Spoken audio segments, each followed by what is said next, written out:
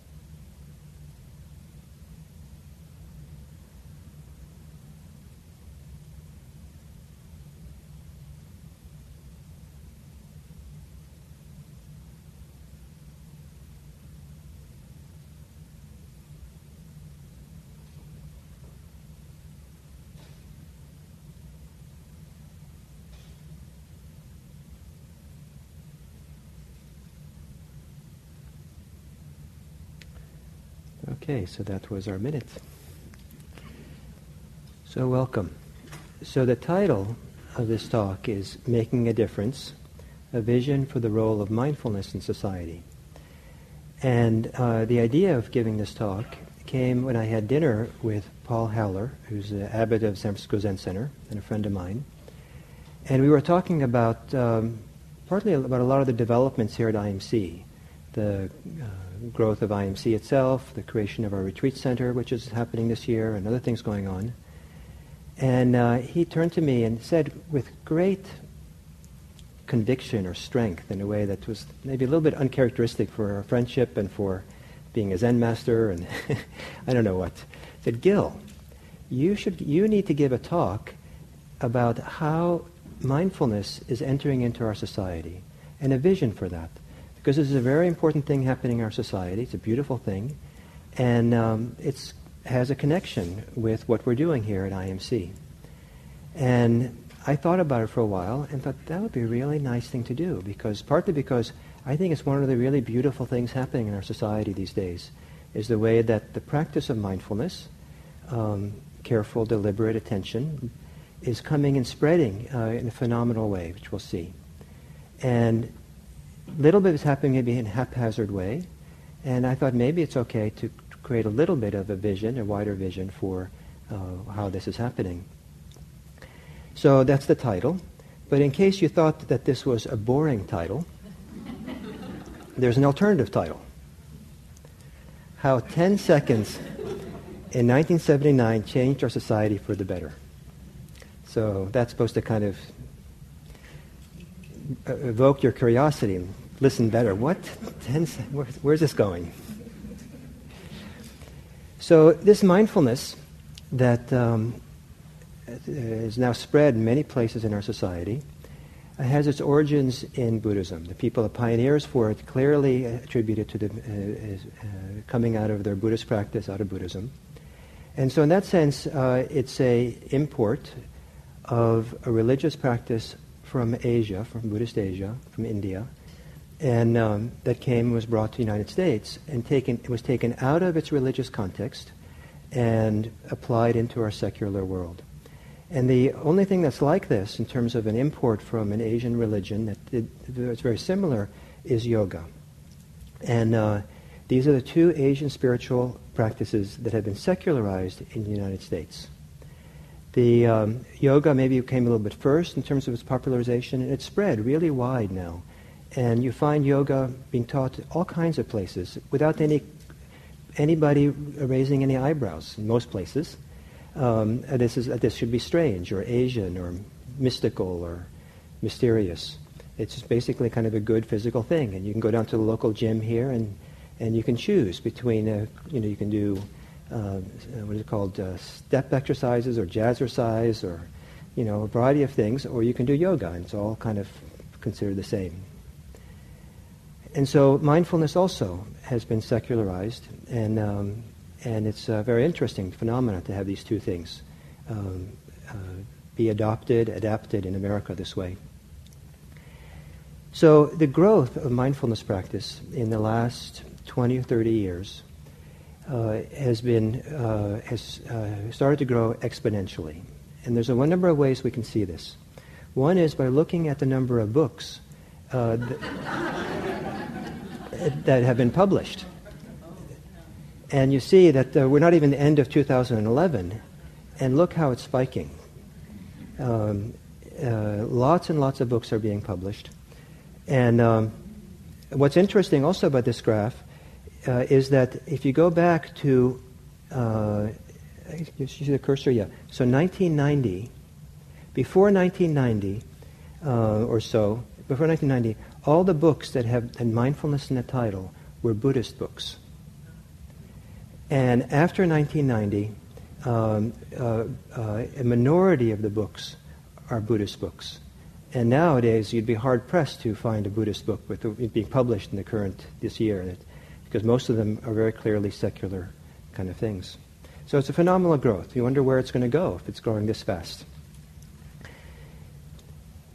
And what's interesting is in all the different topics that are covered. It's a phenomenal array of topics, seemingly almost every possible area of our life.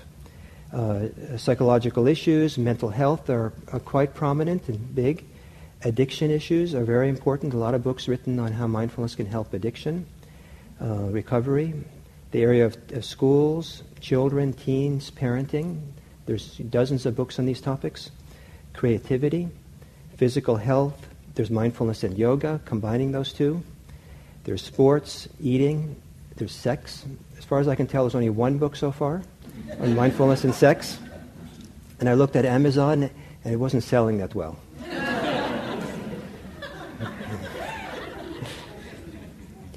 Work, finance, business, organizational development, leadership, coaching, communication, relationships, women, a whole series of books on mindfulness and women, a few books on mindfulness and men, social work, politics, law, travel, video games. You'll see. There's a few books on Judaism and Christianity with the title of mindfulness in them. And, but they all come after this, this, uh, this big change around 1990. And uh, I think that uh, it's pretty obvious to me, or pretty, I, I, suspect that uh, they're somehow riding the wave or being influenced by uh, this whole mindfulness movement in choosing those titles. And then the, also the, uh, things on ecology and environment. So that's quite, quite a thing. So let, I'd like to show you just a few of the titles. Um, mindfulness and psychological issues is a big one. I suspect that um, this is one of the ways in which mindfulness has spread into our society, is its usefulness in areas like depression, anxiety, grieving. Uh, mindfulness-based cognitive therapy for depression has become quite popular and uh, seemingly very effective. There is books on mindfulness and parenting, like Momfulness, Mothering with Mindfulness and Compassion. There's The Mindful Child. A big field has been mindfulness and work, and there's a lot of books on this, and also a lot of creative efforts by very uh, uh, competent, intelligent people who have done a lot of, lot of mindfulness practice to see how they can uh, present it and make it useful for people in the workplace. Um, there's things like mindfulness in finance and business, I wondered what the Buddha would say about the Dharma of capitalism. a guide to mindful decision making in the business life. or Mindfulness and Money, the Buddhist Path of Abundance. and it would seem that there's mindfulness everywhere. It's in you know, all kinds of areas of life that uh, it's applied, or it's for everybody, for everyone else in all kinds of circumstances. And so then, luckily, we have these books.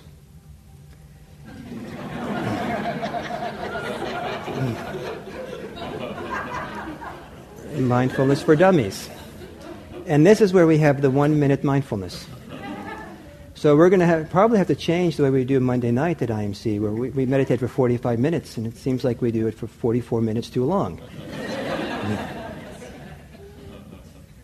and um, the, the, the, and the title that had the most uh, interest in my family life at home, among my my 13 year old, was uh, this book. Those of you those of you who don't know, Angry Birds is an iPod, iPhone video game where you'd mostly destroy things and uh, with your birds. And my thir- when my 13 year old saw this title, he said, You know, the person who designed this book wasn't very mindful because you see the capital I in birds. So that was fun at home. And then, then my son was one who said, You have to have the, the graphic of Angry Birds for the show. So. So it's applied in many different areas of life. Uh, it might be interesting a little bit to consider what areas it's not applied, uh, applied to. Uh, we, don't, we don't have currently a book on mindfulness and bank robbing. And, uh, but why not? It seems to be useful everywhere, right? Or maybe that's an important issue to question you. Know, where is it appropriate, how is it used, and where is it not, does it does not have a role, or is it not even so this has to do with book publishing, and I think that I know that there are book publishers now who receive good books from their authors, where the author's title has nothing in mindfulness in the title, and the uh, publisher is saying you need to have that mindfulness in the title. And so it's not just the authors; it's kind of it's kind of a, a fashion. It's what sells, and um, so it's kind of a fad that's going on. But mindfulness is more than just a fad, I believe. That's a trend that's going through. It's also a tremendous amount of research is being done, clinical and scientific research on the usefulness of mindfulness. And so here's a graph of the amount of research on mindfulness. It's increasing also exponentially uh, up until 2010 here in this graph. So that's quite impressive, I think. So um, maybe it's not that many uh, uh, research papers.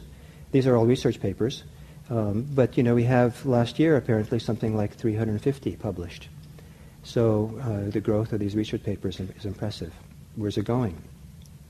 We also have uh, the creation of um, mindfulness centers for the research and the, and the development of mindfulness program for our secular world at major research universities uh, in the world.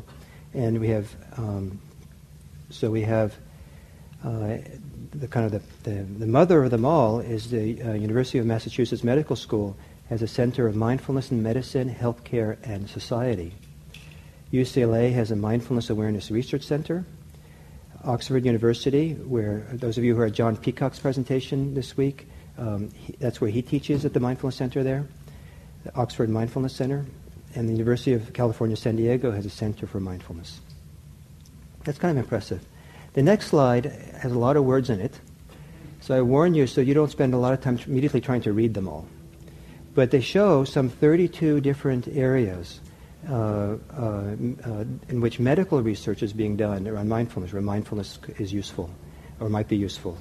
And so you can kind of just glance at all the words and get, kind of get a sense of uh, how diverse the research is.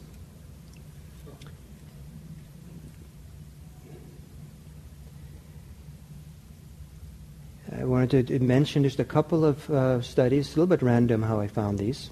Came across these, I thought it'd be interesting to see. Uh, mindfulness uh, health of teens. So this was um, a woman who's uh, still local, right, Amy? Gina Biegel, uh, local here, who's, who's been involved with teaching mindfulness to kids, partly through Kaiser and other places. And um, her study uh, of 102 teens with mental health problems, 80% no longer had one or more of their mental health diagnoses after an eight week mindfulness based stress reduction course. That's pretty impressive results. So you could say one study maybe doesn't count for much, but there are lots of studies that are um, showing somewhat similar results uh, for certain things, not for everything.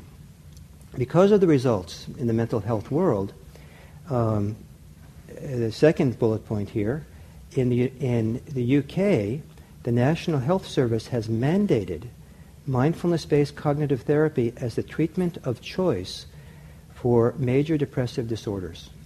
That's pretty impressive to have entered into their society that kind of strong way. Uh, here in this country, the National Institute of Health has funded over 150 research projects on mindfulness in a five-year period. There's been a study of a mindfulness program that Pam Weiss developed for Genentech. She's a, Spirit Rock trained Vipassana teacher who very creatively repackaged the mindfulness um, so it uh, you know just would work for that environment in a nice way. And her study, someone else came in to study her, her program and to research, you know, what were the benefits. And uh, the results of that study was that there was 10 to 20 percent increase in employee satisfaction among the people who took it, 50 percent improvement in employee communication, collaboration, and conflict management. And for companies that are trying to have a profit or make money, it's important. Then the, uh, the next slide shows very important results of that study. That the return on the investment estimated to be $1.50 to $2 for every dollar spent on the mindfulness program. So, in other words, they found it was cost effective to bring mindfulness into the workplace. There are a lot of companies now, uh, maybe still a minority of companies, but a lot of companies who are beginning to bring mindfulness programs into their uh, workplace for their employees, um, not just Genentech, the local kind of big biomedicine company, but um, uh, here we have Fortune 500 companies with training programs in mindfulness. And these are just the very big companies that have it. Uh, there are other companies as well. There's a, a, a, recording company, a multimedia publishing company called Sounds True, that uh, uh, says, At Sounds True, we strive to practice mindfulness in every aspect of our work. And there are other companies where uh, mindfulness practice, the values of mindfulness, are seen as central to what they're trying to do as a company. Another area in which mindfulness has gone into is the public schools or school schools, and um, there's been research there as well on the results. And the Mindful Schools uh, organization, which is in Oakland, has done a lot of good work locally and other places to bring mindfulness program into schools. Uh, they've done their own research, and in studying second and third grade classes being taught mindfulness, they had these results. Studying uh, conflict scores. The lower the score, the less conflict there is in the, in the class. So you have before our program, uh, uh, you have a certain score for conflict, and then immediately after the program, it dropped dramatically. And what's interesting is that the scores stay low. Some continue to go down for the second grade. Third grade, I don't know what's going on there, but they went up slightly. so that's impressive. Uh, we have now in the United States an organization called the Association for Mindfulness and Education. And we have here in the room with the CEO, president, there, Amy, right there, Amy Saltzman. And, uh, and she, um, I'm happy to say that the beginning of this Association for Mindful Education was here at IMC in the conference room. Lots of meetings here. And now we have this, uh, and on their website, they list um, uh, programs that uh, the association knows about, uh, states, and this, where they have mindfulness programs. Not the whole state, right, but this is where it's spread to. 12 different states. So it's a kind of impressive. The Association of Mindfulness Education is, uh, was the first, um, I think the first, who, who created, uh, had a national conference on mindfulness and education. That conference was also brainstormed here. And now it's gone off, and the next one, third one you're doing? Third one on the West Coast is going to be next month here in Menlo Park, and she, uh, Amy brought flyers for it here. Um, I thought these were nice to read.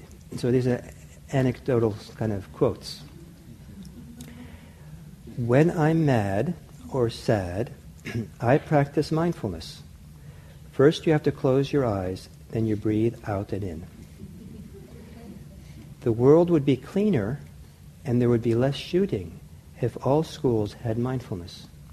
My guess is this was a student in Oakland, where they do a lot of, a lot of the mindful schools works there. I feel like I have the courage to do anything, another student says. Here's a teacher on mindfulness in his fourth grade class. You can just watch them breathe deeply and settle down rather than lashing out. So it's kind of interesting, you know, the study of lashing out and the conflict scores and um, mindfulness in sports. Uh, some of you know the uh, Chicago Bulls and Los Angeles Lakers. Some of you know about Phil J- uh, Jackson. He's supposed to get some credit for doing that. He's a Zen practitioner who's the coach of these big championship teams. Um, what he did in 1993 was he brought in a Vipassana mindfulness teacher named George Mumford to be the mindfulness teacher for these, te- these teams. And this year, right after the Lakers won, beat the Celtics, the center, uh, Andrew Bynum, talked about George Mumford's work, and he said, he just talked about mindfulness and not letting outside things distract you. Pretty basic stuff. But here you have a major sports team uh, finding enough value in mindfulness that they're um, you know, they have a mindfulness coach or something. It's also entered into the prisons, and there was a study done of uh, mindfulness programs given to 1,300 inmates in Massachusetts. And after taking a mindfulness-based stress reduction course, the hostility scores among inmates dropped 7.5%. This was both men and women. The scores for the women dropped more than for the men. But still, that's impressive. In prison, any kind of reduction in hostility uh, is a reduction in violence and makes the place more livable. Um, from an inmate who learned mindfulness, here at San Quentin, there's an Insight Prison Project. They've been a pioneer in bringing mindfulness to um, the prisoners at San Quentin. A prisoner said, I've learned about early warning signs and about recognizing when I'm about to get into trouble, and then how to come back to myself. This stuff really works. I know what to do because I have choices now. So Jacques Verduin, who started the Insight Prison Project, he's been trying actively to bring mindfulness into the state prisons for a long time. And it seems now with Governor Jerry Brown, it's been mandated from the governor's office that there should be more meditation in all the prisons. So we feel like the doors are open now. So I, I was able to accompany uh, uh, Jacques Verduin just a few weeks ago to Sacramento to have a meeting in the governor's office where we met with the governor's uh, chief policy advisor and two senior officials from the Departments of Corrections to talk about bringing mindfulness programs into the state prisons. That's pretty impressive.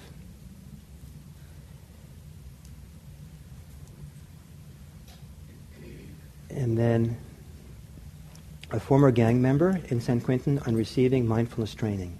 This has become a slogan or, that they use in San Quentin now he said after he took the training, now I get it. Hurt people hurt. Healed people heal. Isn't it beautiful little quote coming from San Quentin, a gang member? That's what he learned. So you see, it's grown a lot. And there's other kind of statistics I could show you, but after a while it gets boring. And uh, other places it goes into, but it kind of gives you the idea. So we can ask ourselves then, why is mindfulness found to be useful in so many different contexts? What is it about mindfulness? And so I have a few suggestions. One is that mindfulness is a form of attention that can be done in all activities. So whereas in contrast to yoga, you know, you're not going to do yoga in the middle of your board meeting. You know, you're not going to do yoga, and I don't think you'll do yoga in the middle of changing your diapers of your kid or, you know, caretaking for someone who's dying. Or, you know, suddenly, you know, excuse me while I do downward facing dog. Um, yoga is a wonderful thing, but it's kind of particular where and when you can do it. Whereas mindfulness, because it involves attention, uh, it's portable and can be used in, in almost any situation at all. Um, mindfulness allows for self-monitoring and self-regulation in all activities. And this is a very important thing. Remember the prisoner who said, uh, now I see the early warning signs of trouble. So uh, you start seeing what goes on, see the choices you have, see how you're beginning to react, and you can regulate yourself and monitor yourself. Um, and so mindfulness is the kind of the window or the key to being able to do that well.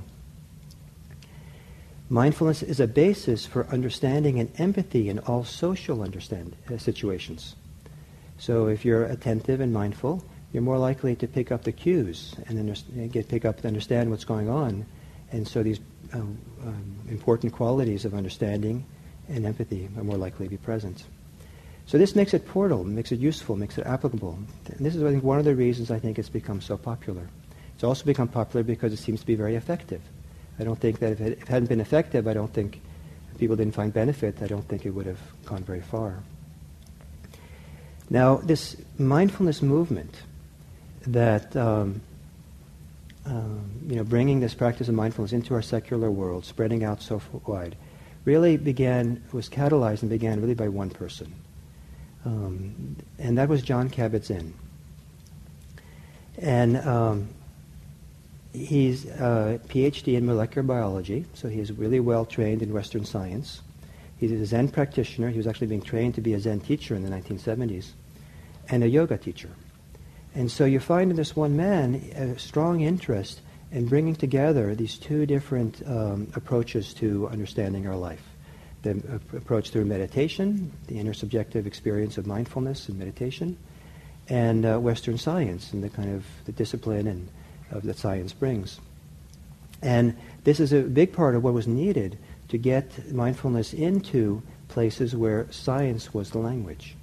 And it was his inspiration to bring mindfulness, take, take it out of the Buddhist context, um, and, and formulate a program so it could be brought to clinical settings, hospitals, and, um, and benefit people who were suffering and a lot of pain, a lot of stress.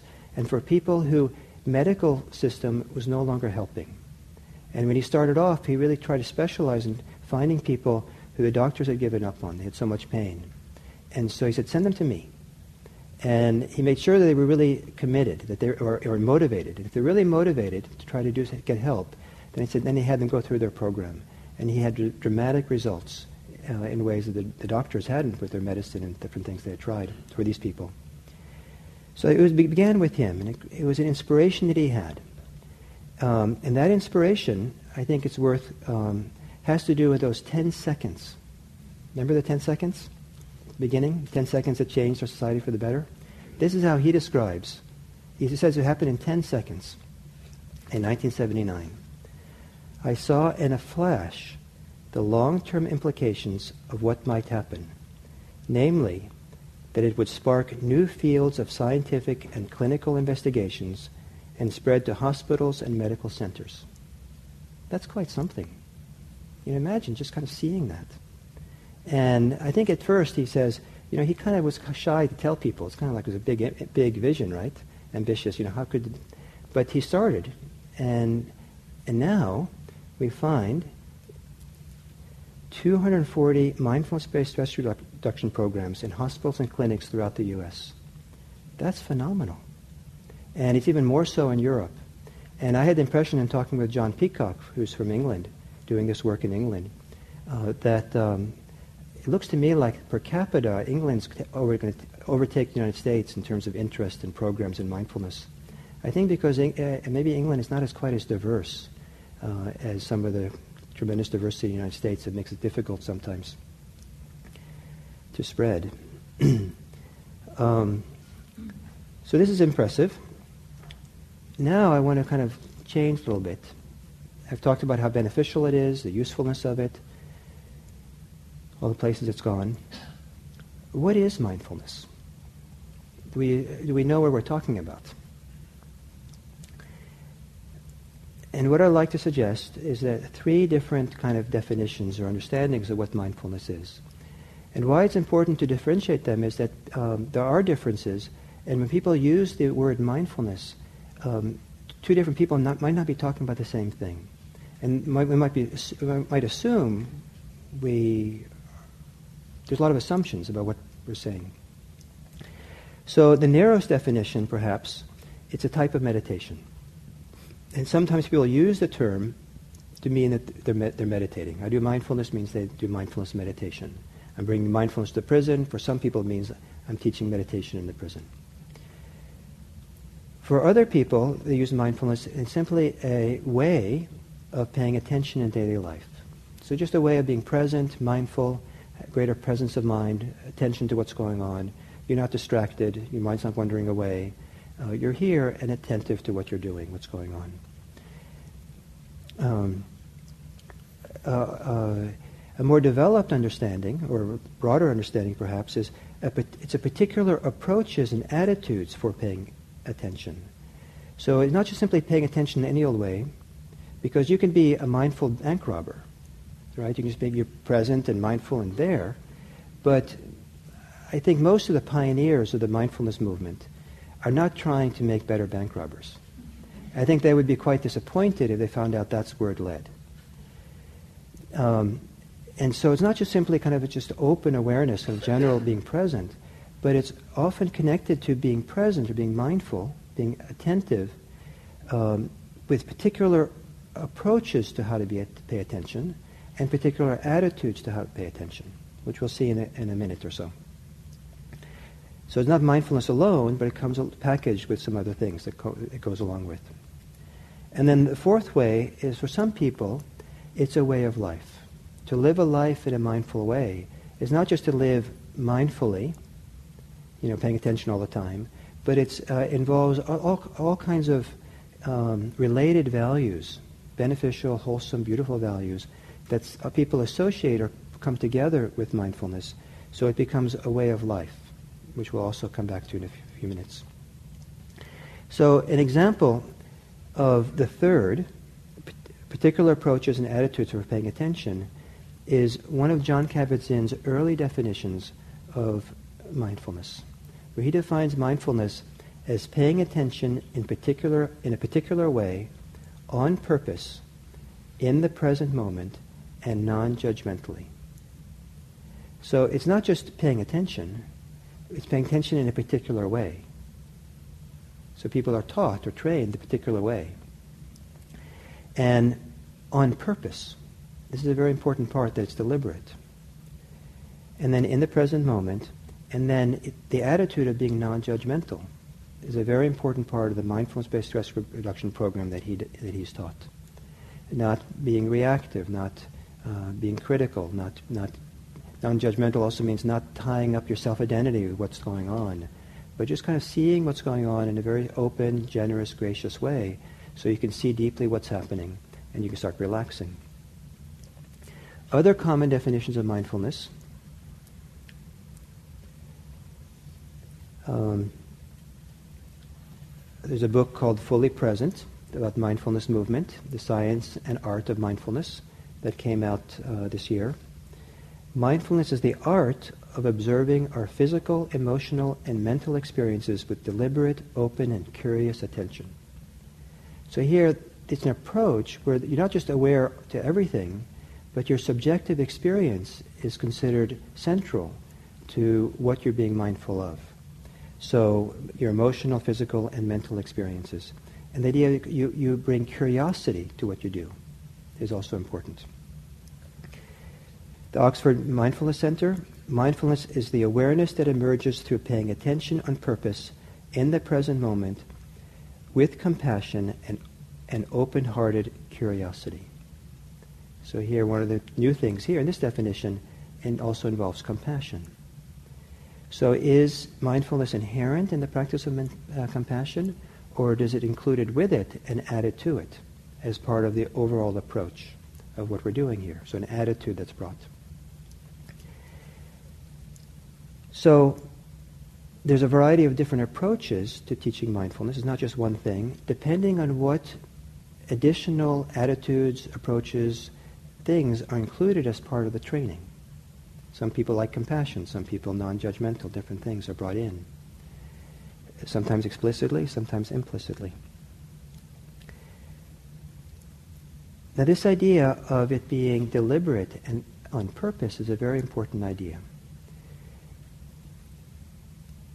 generally, when we're being mindless, our attention has been hijacked by the preoccupations of the mind. We get pulled this way and that way by our compulsive desires, our compulsive aversions, our fears, our fantasies, all kinds of things. It goes this way and that way. And we're not in charge. You try to be in charge, you try to be present, and your mind takes over. The mind has a mind of its own. And a hugely important part of becoming free, using mindfulness to become free, is to become free of the compulsive nature of the mind where it hijacks awareness and pulls us away so we can't really live a life of our deepest values or live a life purposefully, or live our life clearly and mindfully freely here. If you're not free, if your attention's not free, chances are, are you're not going to behave freely either. That your, your behavior is going to be motivated by your compulsion, compulsions. So mindfulness brings freedom. This is one of the really important benefits of mindfulness practice. Mindfulness frees attention from being hijacked by reactive emotions and compulsive desires. The natural results of mindfulness greater mindfulness leads to greater self awareness, greater recognition of stress and its causes, greater well being and happiness, and greater empathy. I've been a mindfulness teacher, a Vipassana teacher, insight teacher for over 20 years. And one of the things that has been very meaningful for me and very inspiring is to see and work with so many students where it's so clear that mindfulness practice uh, brings out the best of our human qualities and potential. The best of people come out when they're practicing mindfulness. It decreases greed, aversion, and other afflictive states. It increases compassion, kindness, peace, and ethical integrity. So you see that mindfulness can be connected to compassion, connected to kindness, to peace, to ethical integrity. It has, so there's a wider field, a wider scope than simply just being mindful in the present moment. And so now we're going to go to Jon Kabat-Zinn's more recent definition of mindfulness, which is really broad, surprisingly broad, compared to that narrow one he had in 1994. I use the word mindfulness intentionally as an umbrella term to describe our work and to link it explicitly with what I have always considered to be a universal dharma that is coextensive, if not identical, with the teachings of the Buddha. And here he uses this term, universal dharma, which people don't use the word dharma perhaps, universal truth, the fundamental aspects of human life, of this life we live, something which is not exclusive to any religion, including Buddhism, but something that's kind of part and parcel of the human life. And, um, and so he sees that mindfulness is an umbrella term, and kind of the universal dharma is considered, you know, the, the, the greatest truth, most important truths that support our life, that live our lives, the important patterns of life, the movements towards freedom, the movements towards compassion that's capable in a human heart. And he, that's what he sees mindfulness as. So it's an umbrella term. Now, I, some people uh, who are trying to bring mindfulness to the secular world will cringe when they see this. Because one of the criticisms is sometimes the uh, Christians get really afraid that it's going to be covert Buddhism that we're bringing when we're teaching people to pay better attention. So then the, you could ask, is the mindfulness movement a covert form of Buddhism? And I would like to say emphatically no. Rather, it is a way of cultivating universal and beneficial human qualities that are not exclusive to Buddhism. And I know some of the pioneers of this mindfulness movement, and I can say with confidence that they are not trying to foist Buddhism on the world, but rather they've seen tremendous benefits from practices that can be done, and they want to bring those practices to others. Having been a practitioner of Buddhism myself in Asia, I saw over and over again that Buddhist teachers there were not interested that I become a Buddhist. They were interested that I offer, that I that be introduced to a practice and get the benefit of that practice. And um, and in fact, Jon Kabat-Zinn explicitly will say that he's not a Buddhist, even though he makes a strong connection between the two. So mindfulness, oh, so for the pioneers of the mindfulness movement, mindfulness is a way to alleviate suffering and to create a more ethical society. So not just in alleviating suffering in, in one individual, but to do to change our society in some way, to make our society a more peaceful place or more ethical place, to benefit our world. So here then is kind of the kind of the reason for this evening was for to offer a vision for mindfulness in society. And what I hoped I've somewhat conveyed here is the idea that mindfulness doesn't have to be only paying attention, but it uh, can be a way of being in the world that's connected to other beautiful, important qualities of the human heart. And so for me, my vision is that we create a culture of mindfulness that is as much about compassion, kindness, creativity, happiness, wisdom, and peace as it is about mindfulness. It is a vision of an ethical society where ethics flows from the natural sensitivity that mindfulness awakens. I have a great belief that when we tune in to our subjective experience, we begin to relax the tension that we often carry and begin feeling more fully our life and the life of others. It's kind of like the, the, the doors of the heart are open and the natural compassion, kindness, love that's in the heart uh, resonates with what, what goes on in the world around us. And then importantly, and society becomes safer for all its members. It's remarkable to, to listen to the people teaching mindfulness in the Oakland schools. And these kids, some of these kids are traumatized with violence, um, gunfire, and they don't live in a safe environment. And some of these kids are eating up the mindfulness because they feel, in the moments they do mindfulness in the classroom, they feel safety. They feel, you know, in a way they don't feel at home. One kid was very, very touched by this. One kid, uh, they had to write little descriptions of what it was like to be do a little mindfulness meditation in the classroom. And one kid said, um, uh, when I when I sit and I'm mindful, I feel like I'm sitting at the edge of my grandmother's grave. And how I heard that when I read that, his grandmother was a safe person, and going sitting at her grave is a safe place, meaningful place, something very nurturing or meaningful. Society becomes safer for all its members. See, remember the scores? The conflict goes down, hostility goes down, all these things go down. I think it's beautiful. So, in a culture of mindfulness, mindfulness would be woven into our society. In education, children would learn mindfulness as a tool for learning and as a support for social skills. In the workplace, mindfulness would be valued as good for business, employee satisfaction, and productivity. In medicine and psychotherapy, mindfulness would be seen as a key component of effective treatment. It would encourage greater self-care, and it would facilitate healing when a cure is not possible.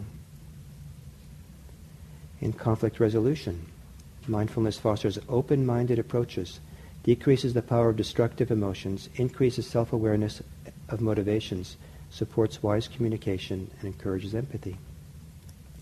In correctional facilities, we would have it in personal and family life, where mindfulness supports healthy relationships.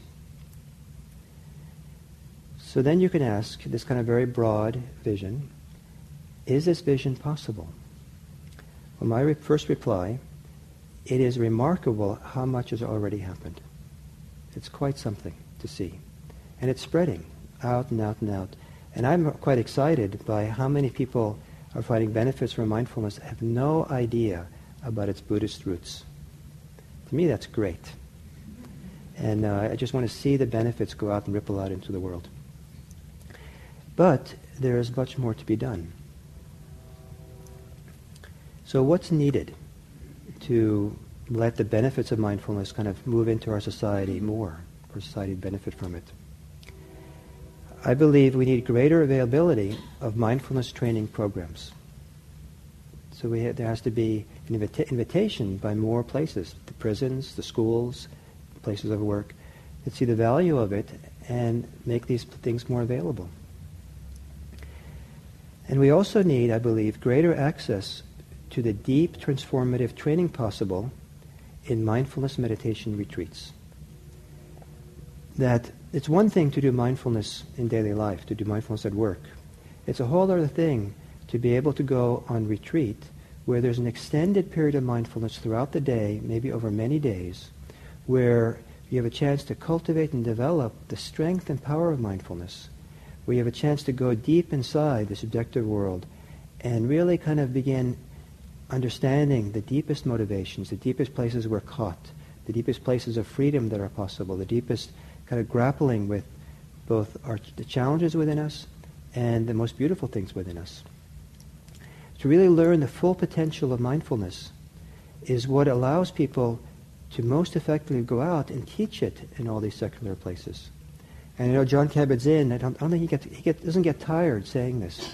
He's, he really wants the people who get trained to do the MBSR in hospitals and clinics to have a deep training in mindfulness so they can best teach. As a mindfulness teacher, Buddhist teacher, um, I want people to be really well trained so they can meet all the different experiences that people have when they do mindfulness practice. Mindfulness sometimes opens doors to people where they experience aspects of themselves that sometimes are difficult. Like the children in Oakland, one of the big concerns about bringing mindfulness to them is will it open up their trauma? And then how are they going to deal with that? So there, there's a lot of thought and care going into this issue. But I think when people are deeply trained in mindfulness, like happens on retreats, um, they have much more capacity to be present for all the different things their students might be going through. So in this regard, there's a role for meditation retreat centers. Retreat centers train people who will contribute to a mindful culture. And retreat centers are a refuge where people can experience what is most valuable in our human nature. So it's not covert Buddhism, but does Buddhism have a role? So I, I say here, I say emphatically yes. Its role is to train people deeply.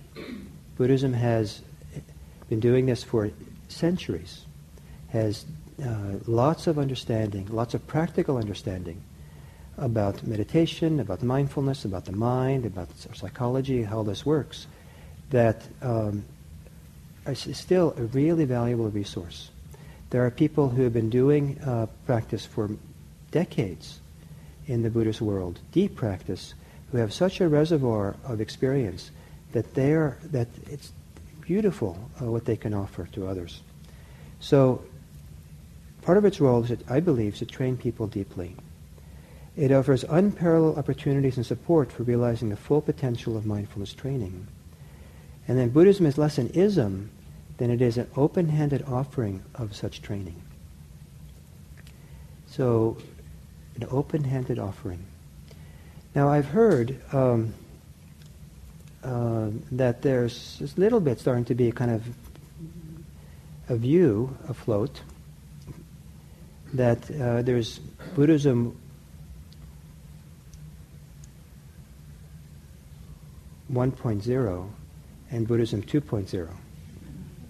And people like me represent 1.0. And the 2. Point, Buddhism 2.0 is, oh, those are retreats and there's retreats and meditation things. That's the old way. That's for those old old fogies, the hippies, whatever. But you know, we're in the, it's a modern world, the new times. It's about getting on with things and doing things and being efficient and texting and doing all the things we do.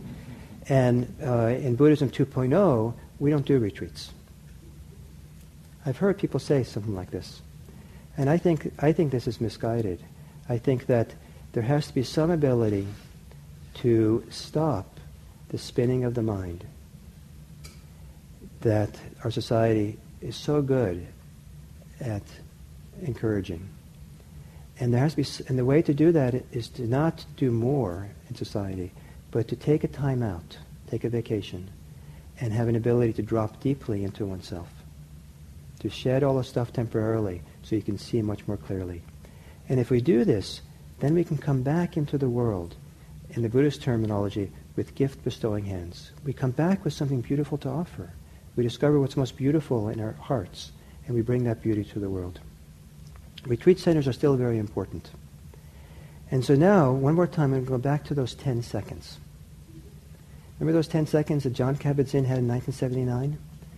So the question is, where did those 10 seconds happen? What was the, when did, what was the context for it? Those 10 seconds occurred during a two-week residential insight meditation retreat that Jon Kabat-Zinn participated in at IM, IMS.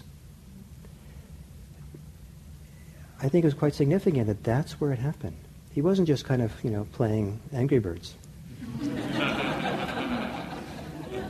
There's something beautifully, beautifully, there's a beautiful creativity and depth and depth of understanding and intelligence and connectedness to oneself that happens on these deep retreats that allows something really important to happen.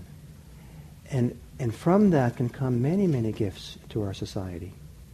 And in fact, our society has benefited in a number of ways, in unseen ways, from the gifts of people who have sat long retreats. And so Jon Kabat-Zinn is one of them. For, you know, it's from hats which kind of blossomed. Another interesting area that maybe you don't know is um, Daniel Goleman. You know, he has a book, a bestseller some years ago called Emotional Intelligence. When he, uh, in some other place, he wrote about his work. He said, um, "I have tried to present the Dharma so that the connection could not be proven in a court of law." so he took all this scientific research on emotional intelligence and wove it together in a way that would be useful and very meaningful for us without the Buddhism. And I'm happy with that. I'm delighted. I mean, I'd be happy if we didn't have to need Buddhism. So, but it's beautiful that beautiful that this, you know, goes out this way. So Jon's thing, 10 seconds happen on retreat. I think retreats are important. So part of my vision for mindfulness of society is that we create retreat centers that can be the seedbed for changing our society for the better. And here at IMC, we're currently involved in an effort to create a retreat center here in nearby. We're about to get ready to remodel it, and a year from now have a place for it, right here in the peninsula. But more than just for us, I hope that every community, every major community in the, in the country nearby, that there is a place you can go to do deep, silent mindfulness practice. And it's understood to be as valuable, a valuable thing for a community to have as having parks or having national parks where you go to feel kind of the specialness, the sacredness of being close to nature. That you have places where you can go into silence, go into deep retreats, and experience the deep uh, sacredness of silence, of the inner heart, the still mind, the free mind. And um, I hope that that's what happens. I hope that uh, as this uh, mindfulness grows and as it spreads out into the world, there's a beautiful uh, feedback loop that happens between those people who benefited from the world um, having the chance to go on long retreats. And those people who go on retreats come back and bring the benefits to others. At least a few people. I think at least a few people so that there can be these um, kind of people who will seed our society with some of these values.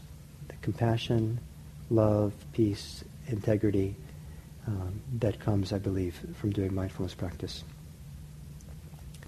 Thank you.